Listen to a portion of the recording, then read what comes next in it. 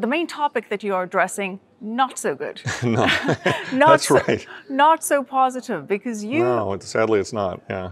you maintain that the monetary and the political system is broken, Yeah. hopelessly so, Sadly. and it's only a matter of time before we see the entire collapse of the system and the collapse of fiat. so I- I think break that down for us. Break down how we get to that breakdown. Yeah, sure. I think that's generally right, and it is rather sad. Um, but we didn't do it. We didn't, you know, we're not the central banks, and we didn't set up the system. Um, and, it, and it may not be a terrible collapse. It might be a, a reset, which we discussed earlier. But I think what's happened is we've reached kind of peak debt and peak money uh, printing as a solution to our problems. Um, you know, in, in the early days, growing debt and printing money allowed for additional growth, and there was some inflation, but you could get by. And we've now reached that point in time at which the, the supply, the, the growth in the money supply has almost gone vertical. And there's a chart that uh, will be posted with this interview about the M2 chart. And it just shows how, you know, in the, as an example, in the GFC, we printed three trillion plus dollars, and it took three or four years to do it.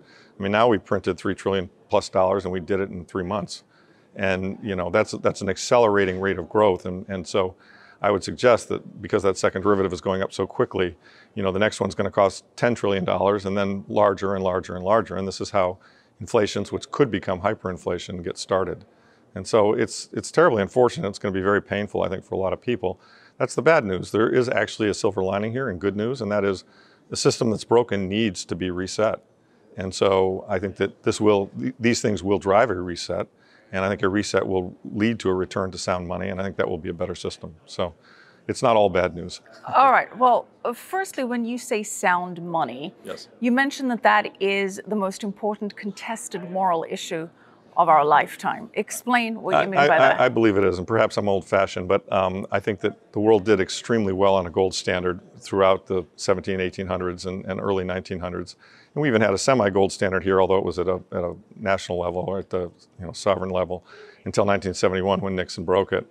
And you know, sound money allows people to plan, um, you know, savings and, and get a return on their capital.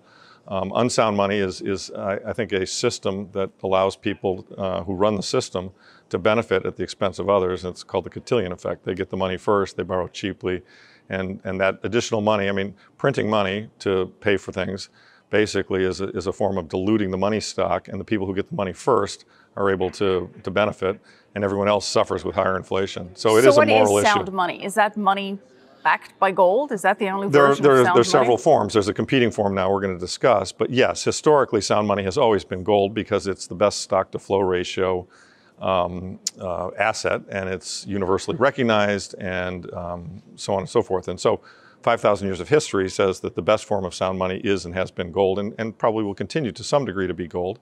Uh, there is a competing standard, which everyone's now aware of, and that is that Bitcoin specifically, and I exclude all the other cryptocurrencies, but Bitcoin specifically, is a you know, technological form of sound money, which is an immutable ledger, which I believe is as sound or could be ultimately be sounder than gold. It's in the process of being adopted, which has positives and negatives associated with it, but it's come on the scene and become a real contender. And uh, I think could end up being, you know, the winner in a very long time frame. In the shorter time frame, I think they're both going to win. And so um, I've invested in both. So you see a scenario where the monetary system collapses, Mm-hmm. there's a reset, which results in sound money backed either by gold or Bitcoin or potentially both. I think that's the best case. I mean, it, it could be messy along the way, and central banks are going to try CBDCs, and I mean, they're going to try a lot of other stuff, none of which will work. And at the end of the day, you know, it's going to come down to what will people trust. I mean, the reason the money system, we, the monetary system we have works is that people trust it, and it has worked, but it's working less and less and less. And when it when we get to the point where inflation is just raging, which I believe we are headed there, uh, people are going to say this monetary system does not work. Right. And, and Well, I mean, look, to, to your point, Larry, mankind has debased fiat currencies throughout the years. I mean, there was a time Right. when uh, even uh, the Portuguese escudo was the leading currency Yes, in the I mean, there's, world. there- and- this, this is not something new in history, as, although, you know, Keynesians would have you believe that, you know, history doesn't matter. But you know, I mean, Voltaire said it, you know, a couple hundred years ago. You know, all fiat money eventually returns to its intrinsic value, zero. Is there anything that the Fed can do at this stage to turn this around? You know, I think it's checkmate. I think they're in a lot of trouble. I mean, let's let's review the history of it, though. I mean, Paul Volcker, and we had the same thing going on in the 70s. Gold had gone from 35 to 80, and Paul Volcker took the interest rates to 20 percent. Okay, I mean. In theory, the way you do it is you create very large positive real interest rates you know, where the, the, the, rate of interest on, on your savings is higher than the inflation rate, and you can kill inflation. The question is, is there the political will and the political constellation to allow that to happen? I mean, you know, can you imagine what 20% interest rates would do to the world? I mean, the world, most of the it would world. Be great for my savings. Yeah, well, it would be great for your savings. It would be great for my savings. It would be great for retirees who have saved up capital, which has been getting a 0% interest rate. But it would be terrible. I mean, most of the world would croak. I mean, we would have a depression of, you know, to, to beat the 30s, I think. And so I think the political will to return the money to, to a sounder basis is lacking.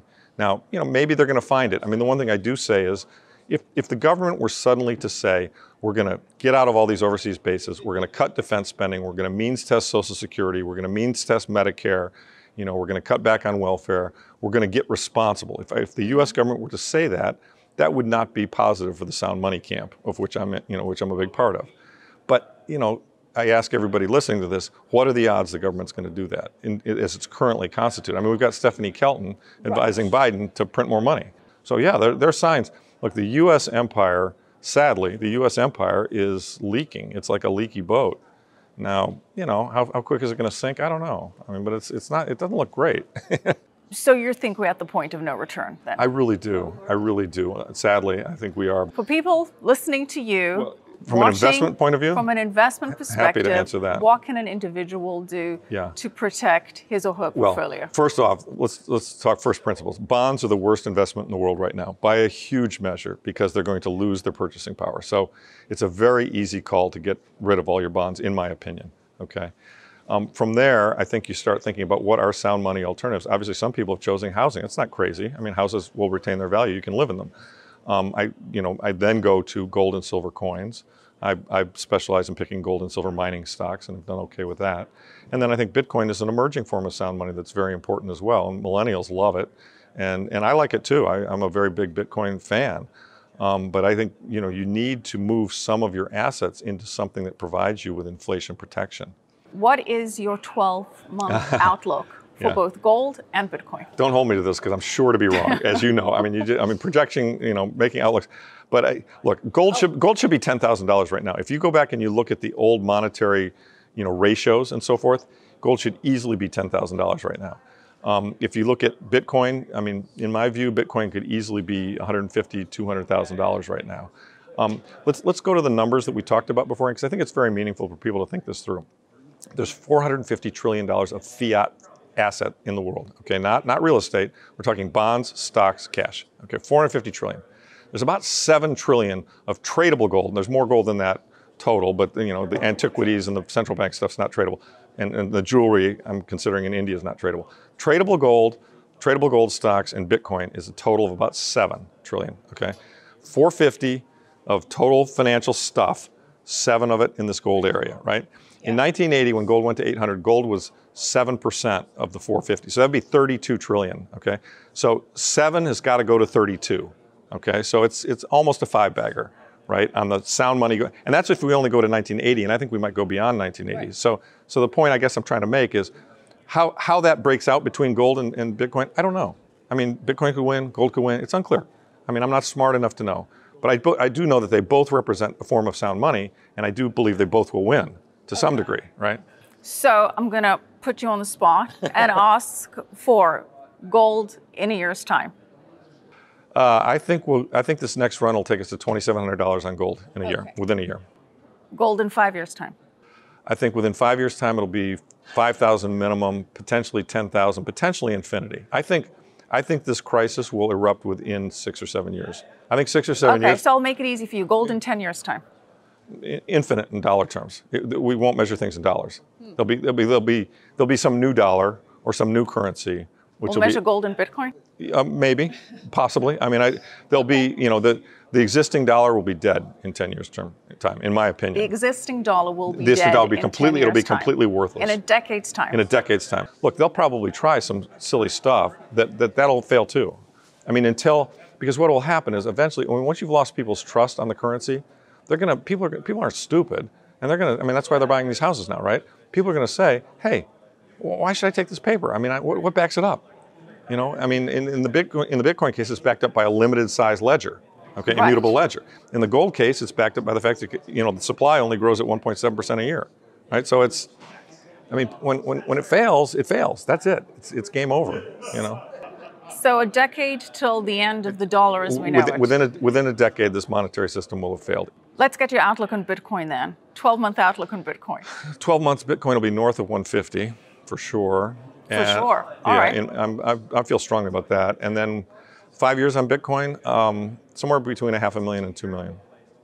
It'll be very, you know, Bitcoin is is hitting that inflection point in the curve. You know, Malcolm Gladwell's uh, inflection point, uh, tipping point. Bitcoin adoption appears to be about 10%.